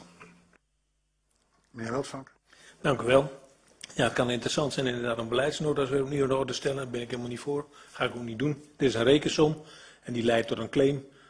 punt. Dat is de onderliggende problematiek, moeten we daar maar aan de orde stellen waar je hoort. Ben ik het allemaal mee eens. Maar uh, dan komt er vervolgens wel, en dat werd net ook even door mevrouw Lasje aangehaald, uh, zoiets van, ja, we moeten de verschillen misschien wel compenseren met handhaving of aanscherpen van regels. Als die vaststelling zo willekeurig is, dan is, er, is dat helemaal geen grond om na te gaan handhaven of regels gaan aanscherpen. Dan moet je gewoon claimen en verder niet. Dat zou mijn punt nog wel zijn. Dank u wel. Ik kijk even nog verder rond. Meneer Klein-Koerkamp, gemeentebelangen. Ja, dank u wel, voorzitter. Wij kunnen ook instemmen met de analyse en dat, dat was ook de achtergrond van mijn vraag. Wij moesten analyseren wat hiervoor ligt om eh, die gelden eh, binnen te kunnen hengelen. En dat was de achtergrond van mijn vraag om ook even wat verder te kijken. En voor de rest kunnen we instemmen met dit eh, voorliggende stuk. Dank u wel. Mag ik hem in stemming brengen? Meneer Van Leeuwen wil nog even kort iets zeggen. Ja, ik, ik vind de opmerking van zowel mevrouw Lasje als de heer Wildvank overigens uh, uh, uh, correct. Daar ben ik het ook mee eens. Um, het is wel zo, als je een uitkering krijgt, dan moet je er ook wel op toezien dat die correct gebruikt wordt. Dus vandaar dat handhaving hier wel een, een rol speelt. En uh, wat de heer Klein Koelkamp betreft, we, ik heb beloofd dat we even daarna gaan, gaan kijken of we dat afvlakken, hoe dat, hoe dat zich ontwikkelt. Dank u wel. Breng hem stemming. Vang naar de uitkering participatiewet 2016 voorstel in te stemmen met de analyse over de oorzaak en de omvang van het te verwachten tekort op het Rijksbudget voor de uitvoering van de participatiewet in te stemmen met de maatregelen die het college heeft genomen en gaat nemen om het tekort zo klein mogelijk te houden. En drie, de bijgevoegde notitie vangnet uitkering participatiewet 2016 vast te stellen. Gaat u akkoord? Dat doet u allemaal met algemene stemmen. Dan hebben we die gedaan. Ik, ga, ik loop gewoon door met de agenda als u dat goed vindt. En dan probeer ik om de agenda af te handelen. Dan de vergadering te sluiten, zodat we dan de informatiebijeenkomst over de WOC-campus na de pauze kunnen doen. Um, oprichting gemeenschappelijke regeling omgevingsdienst IJsseland. En ik realiseer me dat het ook hier heel verleidelijk is voor u, zoals het dat ook was voor mij, uh, om uitgebreid stil te gaan staan bij het bedrijfsplan van de nieuwe omgevingsdienst. Uh, maar dat, uh, daar krijgt u echt nog de gelegenheid voor. Dat is normaal een conceptbedrijfsplan. Ook hier gaat het echt om het formele punt om in te stemmen met de oprichting van een gemeenschappelijke regeling. Dat is het. Dus ook, ook nu denkt u misschien weer bij uzelf van, uh, nou ik had duizend vragen voorbereid. Maar... Nou goed, we, gaan het zien. We bespreken in twee ronden. Ik begin met vragen en ik zie de heer Raamaker van gemeentebelangen. Mag ik u het woord geven? Ja, voorzitter, we hebben het, uh, het stuk gelezen, uh, de oprichting van de GR. We hebben twee korte vragen, dus niet een hele handvol. Uh, lopen we nog financiële risico's als gemeente Dalsen te meer als er gemeentes zouden afhaken? En de tweede vraag is, is alles, alle juridische risico's zijn die voor de toekomst afgedekt? Ik kijk nog even verder rond. Meneer Dijkman, ChristenUnie. Ja, er zit een klein risico in deze vraag dat hij toch wat te ver naar die dat plan uh, neigt. Maar goed, dat moet u dan maar even uh, uh, interpreteren. aanvullend op het financiële effect, ook, kunt u iets duiden ten aanzien van de effecten voor personeel en huisvesting? Want dat, dat hangt er hier wel mee samen. Want tot nu toe waren het ambtenaren die werkten in samenwerking met het netwerkverband, zou je kunnen zeggen. Zometeen worden ze onderdeel van die gemeenschappelijke regeling. Dus kunt u daar iets over duiden? En als we gaan van input naar output financiering. Dat is in ieder geval het beleid van uh, de nieuwe GR, wat op zich mooi is. Maar we beginnen met de inputfinanciering. Is de output voldoende gegarandeerd voor onze gemeente? Dat is de tweede vraag. Dank u wel. Dank u wel. Kijk even verder rond. Geen andere vragen? Wethouder Agricula, mag ik u het woord geven? Ja, voorzitter. Zoals bij u bekend is, hebben we nu een, netwerk RUD. En de staatssecretaris heeft besloten om daar, dat we daar niet mee door mogen gaan.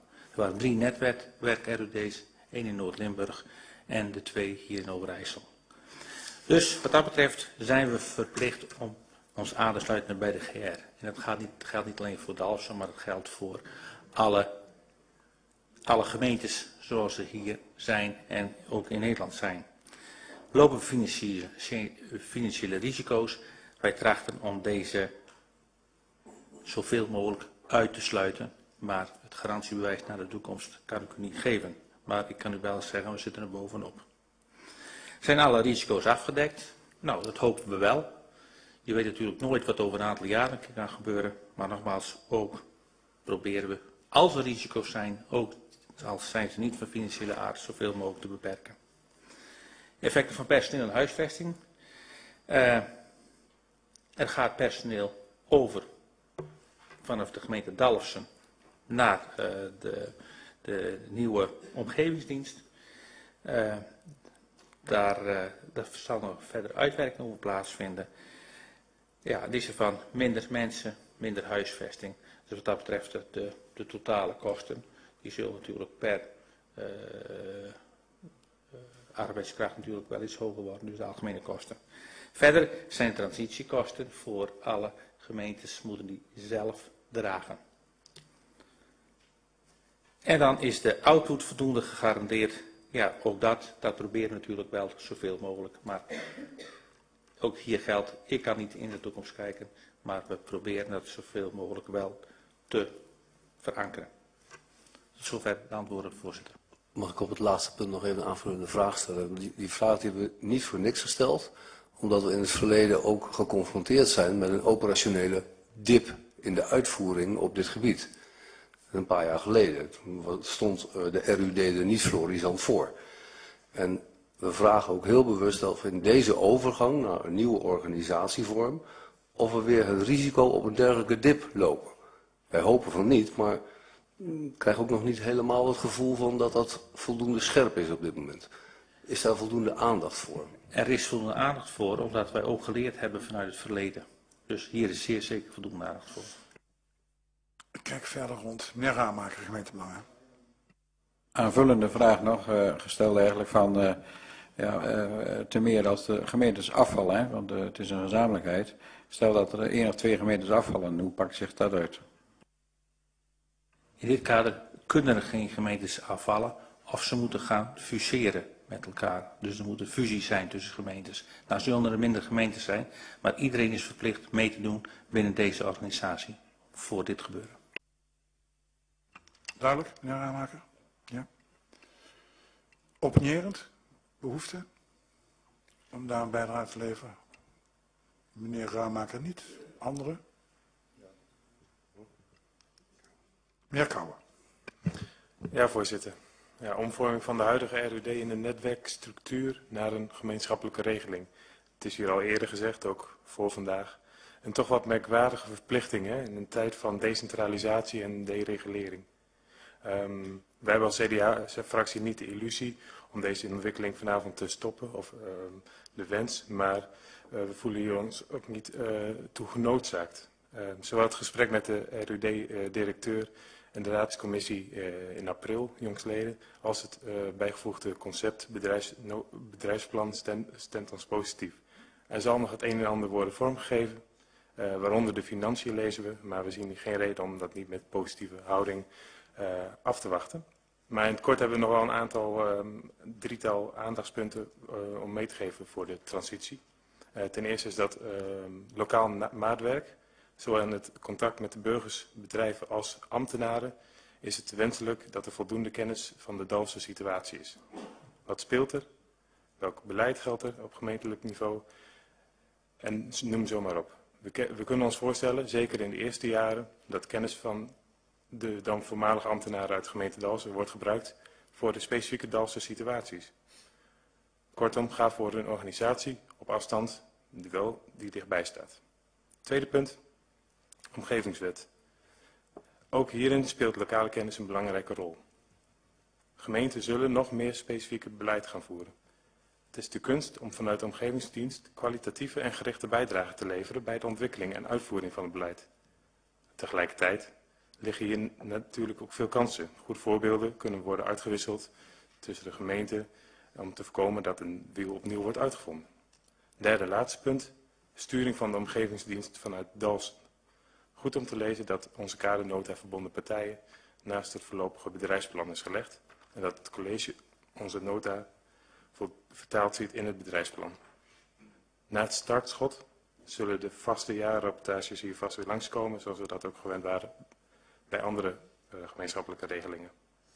De CDA-fractie hecht de waarde aan nogmaals aan te geven dat als er zich wel problemen of knelpunten ehm, mogen, uh, mogen voorkomen, zoals uh, op de andere partijen aan is gememoreerd, uh, wij hier graag in een vroegtijdig stadium over worden geïnformeerd door het college.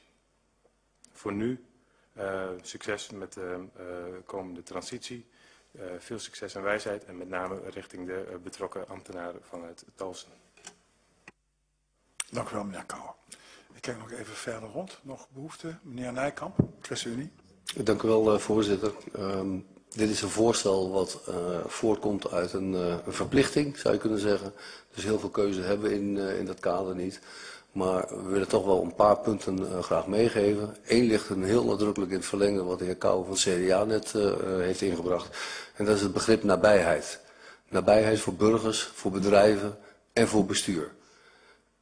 En dat vraagt wel iets van zo'n nieuwe organisatie. Dat ze inderdaad weten hoe de gemeente Dalsen eruit ziet. Waar welke locaties zitten en wat daar gaande is.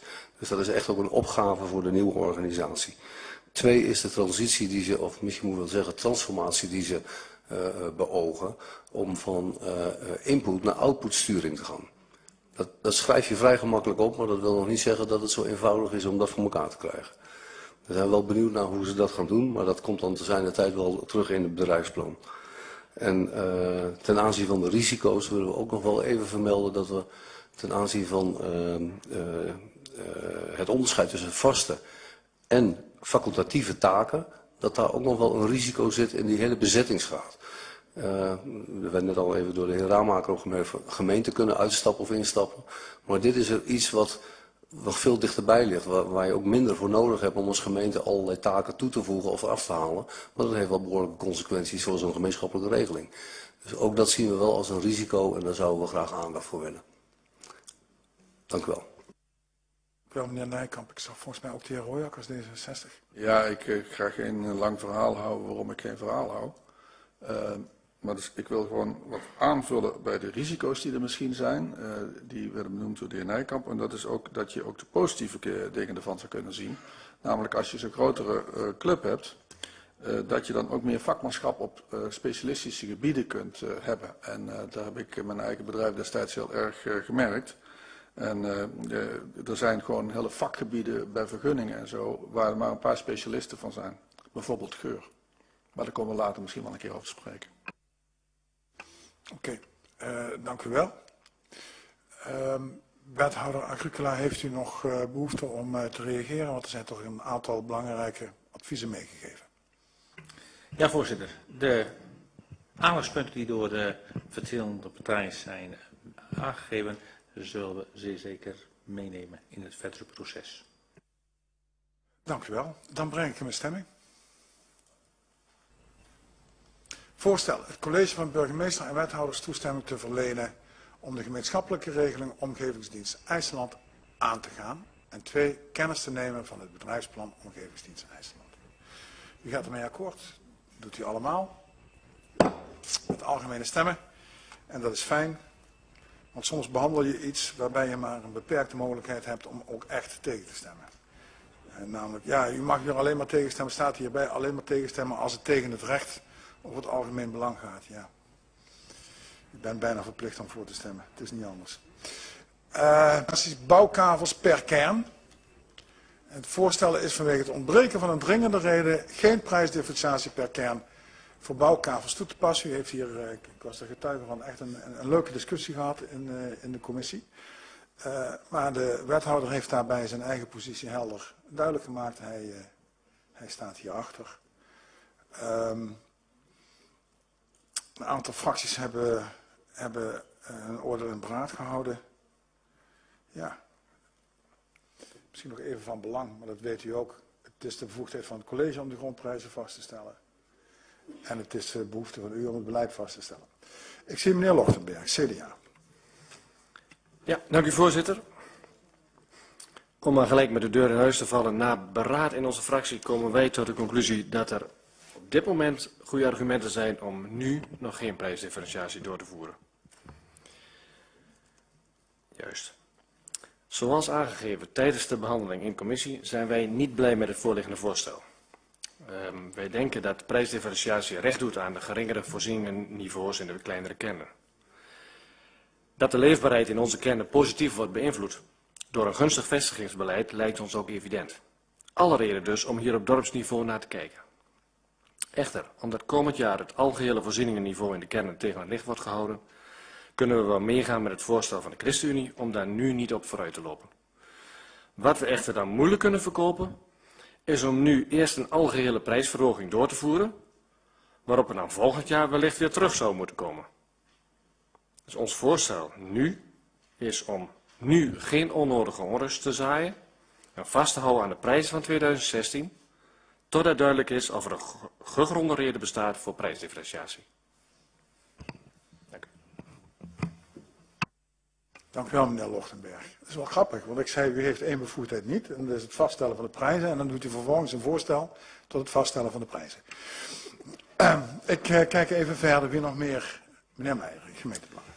Ja, wij gaan er bijna mee, want uh, zoals u weet zijn we ook groot voorstander van de differentiatie van de, van de prijzen. Maar er zijn in de commissievergadering duidelijke inhoudelijke verschillen gebleken met het college. En we zijn eigenlijk wel voor de aanpak van de ChristenUnie. Dus we sluiten ons aan bij de wijze woorden van de fractievoorzitter van ChristenUnie, om eerst maar eens de analyse uit te voeren van uh, het voorzieningsniveau van de kennen. Daar wachten we dan op af.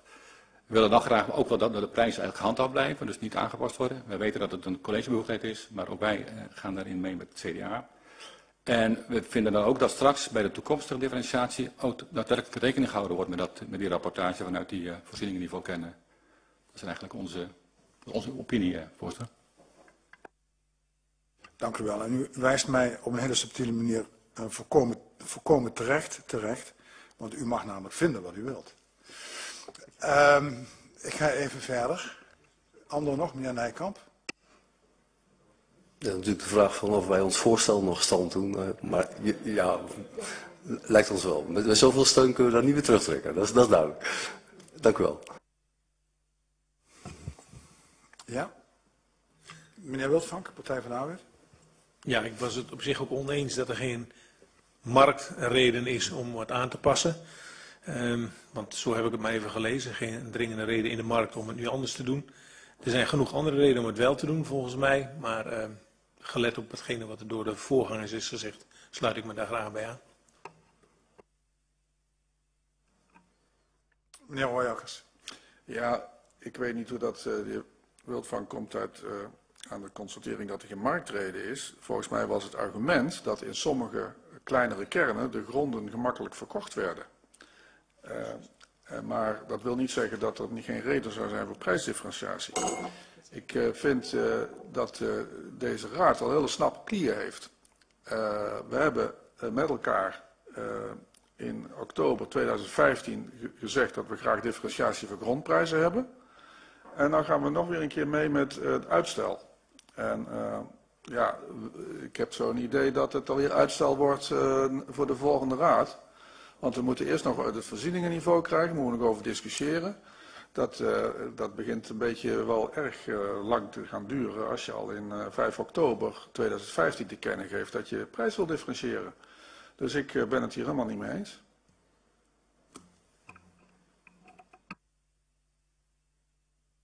Meneer Veldhuis nog. Dank u wel.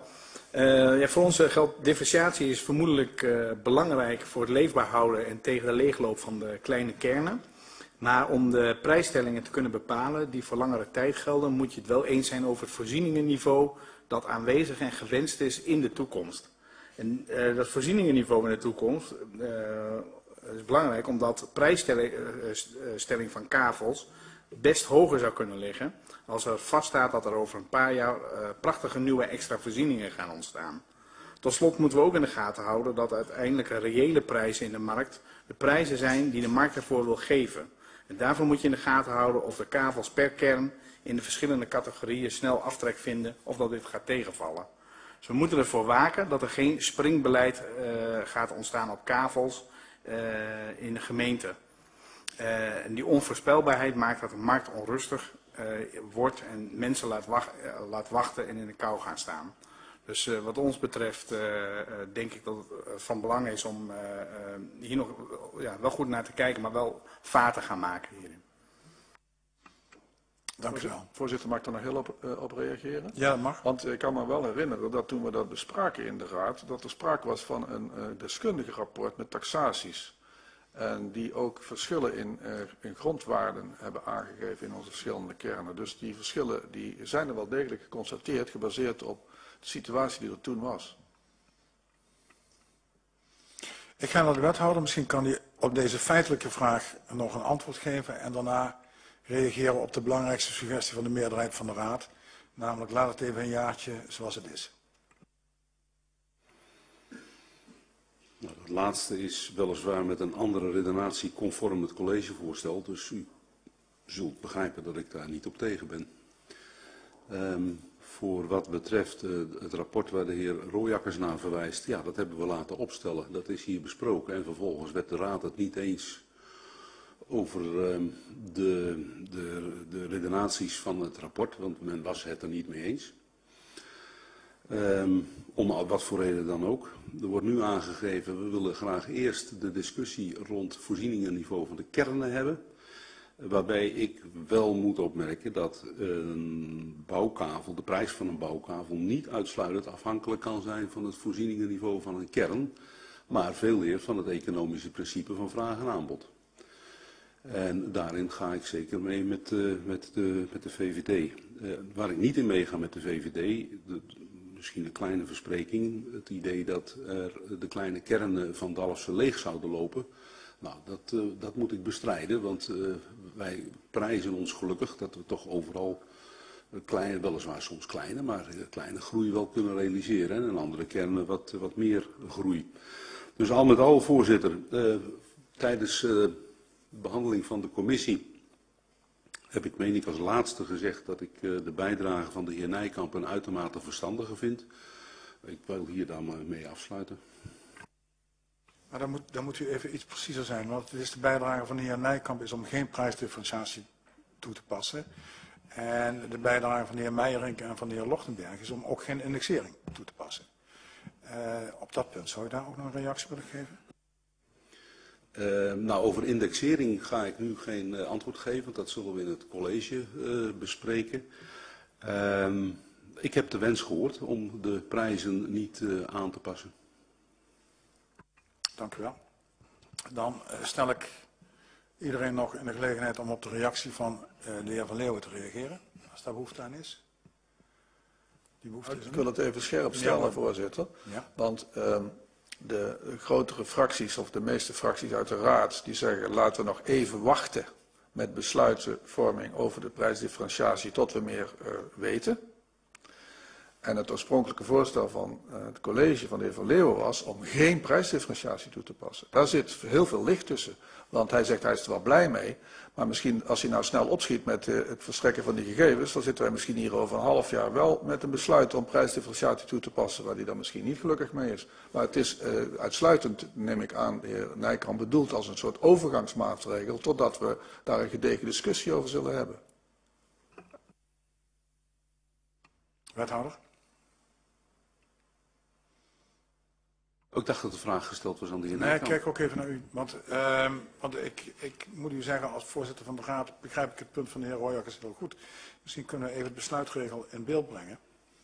En die besluitregel, want u zei dat net ook denk ik heel treffend. Ik kom tot dezelfde conclusie, maar vanuit een andere redenering. Alleen maar in de besluitregel zit de redenering. Um, en, en dat, Jawel, maar dat is dat wij op dit moment geen dringende reden daartoe zien. Uh, ik heb hier de discussie van de raad gehoord en die heeft aangegeven wij willen eerst de discussie van het voorzieningenniveau afwachten. Want dat vinden wij een uh, belangrijk, laat ik het even noemen, eikpunt om verder te praten over prijsdifferentiatie van bouwkavels. Nou, dat staat de raad natuurlijk altijd vrij om dat vervolgens dan te agenderen en daar wil ik ook zeker in meegaan.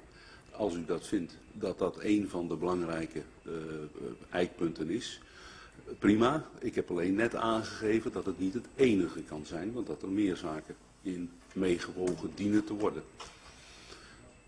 Dan uh, stel ik eerlijk gezegd voor aan de Raad om uh, het voorstel niet in stemming te brengen. Um, en, en in die zin uh, niet ook de discussie tot een definitieve conclusie te brengen. Want dat was ook niet het voorstel van de heer Nijkamp. Het voorstel van de heer Nijkamp was om op dit moment eh, de prijsdifferentiatie niet toe te passen en daarmee doet u geen beleidsuitspraak. U doet daarmee een pragmatische uitspraak. En hier zou u zeggen dat vanwege de onder u, de raad, wat het college zegt moet het college weten, maar u zou hier zeggen dat vanwege het ontbreken van een dringende reden geen prijsdifferentiatie per kern voor bouwkavels toe te passen. Dat is een min of meer definitieve uitspraak. Dus ik, ik eerlijk gezegd, ja, ik ga er niet over. U beslist of u wel of niet iets in stemming brengt. Misschien nog een Voorzitter, misschien, voorzitter. misschien kunnen we dan iets kleiner, eh, als we nou wat schrappen, hè? Denk gewoon dat het eerste stuk, vanwege het ontbreken van een dringende reden, maar gewoon dat eruit en dan geen prijsdifferentiatie per kern voor Nee, maar het gaat, het, gaat, het gaat om een raadsvoorstel. Dus ik, ik stel eh, eigenlijk denk ik gewoon niet beslissen.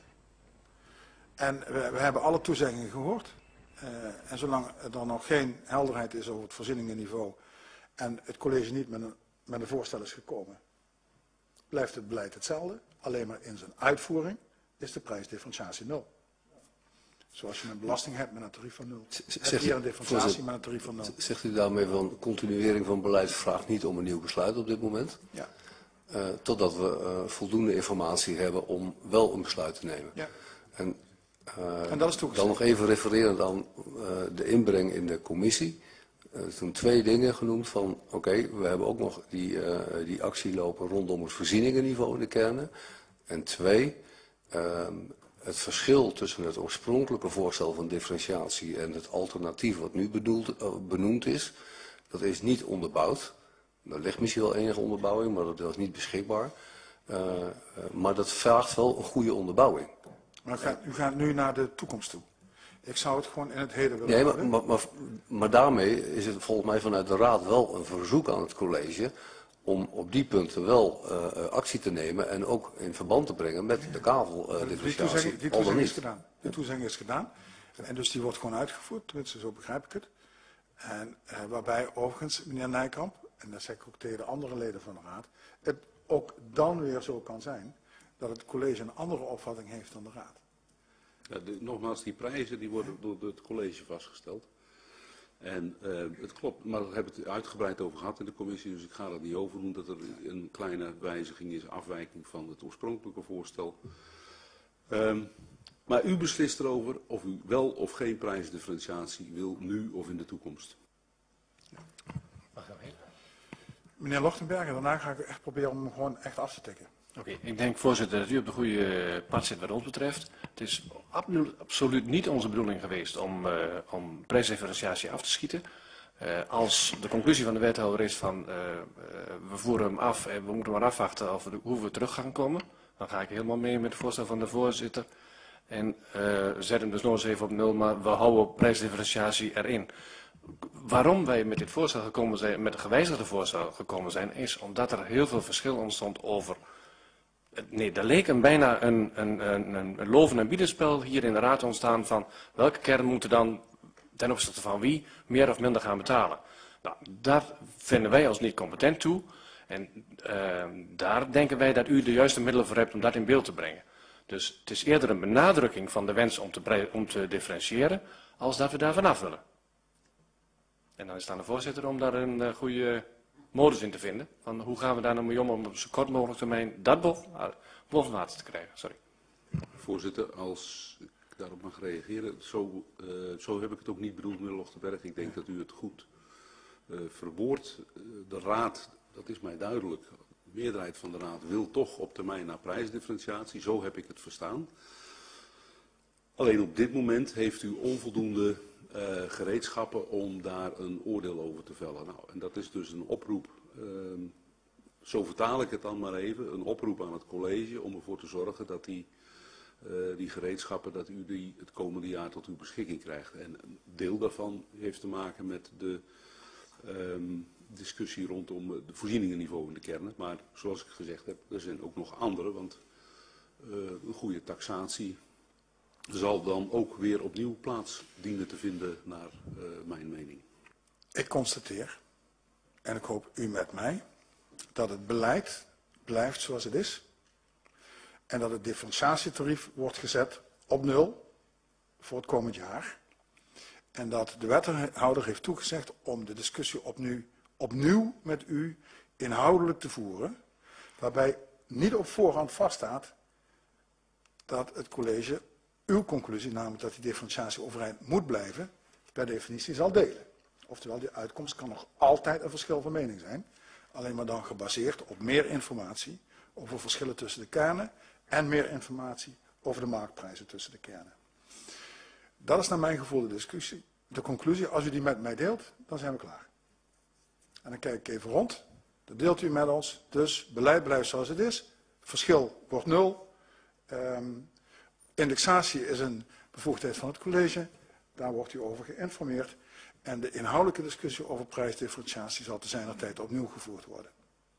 Is dat de juiste conclusie? Voor uitslag? Ik, ik ben toch even in verwarring. Um, ik denk dat u het inhoudelijk juist samenvat. Alleen het, wat gebeurt er met het voorliggende stuk? Want u kunt het moeilijk aanhouden, want dan, hij blijft van de raad en kan het college het niet aanpassen. Uh, afstemmen is ook zo uh, nogal wat. Wordt het ingetrokken? Wel, ik denk wel dat over het stuk zelf ook een besluit moeten nemen. Ik, dat hoeft niet, volgens mij kunnen we het gewoon teruggeven in de handen van het college en daarmee is het agendapunt afgerond. Als dat een besluit is, maar daar heb ik ook nog niet gehoord. Ja. Dan hoeven, we ook niet, dan hoeven we ook niet tegen het voorstel te stemmen, want het is allemaal ingewikkeld, dan moeten we het gaan amenderen en dat willen we allemaal helemaal niet. Gehoord, gehoord mijn samenvatting waarin de toezeggingen van het, van, het, van het college. Is dat akkoord? Als u nu ja zegt, tik ik hem af. Naar de besluitenlijst 24 oktober en 31 oktober. Zijn daar nog vragen over? Nee, opmerkingen mag ze vaststellen? Dat doe ik in één klap. Dank u wel. Ik ga naar agenda punt 13. Ingekomen stukken en mededelingen. Ik kijk even rond. Meneer Wildvank. Ik heb even een korte vraag over het stuk wat gaat over de bestrijdingsmiddelen. Was bij de stukken ter afdoening in handen van het college. Um, nou, wellicht komt dat nog terug hier, maar ik was even benieuwd of het college het gaat oppakken en zo ja, of, dat, of wij daar enig, op enig moment iets van terug gaan horen. Um, nee, dat was het eigenlijk. Wethouder Agricola. Ja, voorzitter. Uh, deze problematiek heeft het aandacht van het college. We hebben vorig jaar ook al een aantal gesprekken gevoerd met omwonenden en telers. En uh, wat dat betreft willen wij u meenemen in het hele verdere vervolg. Voldoende, meneer Wildvank. Kijk even verder nog, naar aanleidingen van de ingekomen stukken, mededelingen. Niemand? Maar ook de vertrouwelijke lijst, stond maar één stuk op. Ook niet. Dan uh, heb ik ook agenda punt 13 gehad. 14, agenda punt sluiting. Mag ik u allemaal bedanken voor uw inbreng. Uh, meneer Van Nes, dapper dat u het zo lang heeft volgehouden. Uh, en daarmee sluit ik, de, sluit ik de vergadering. Dank u wel.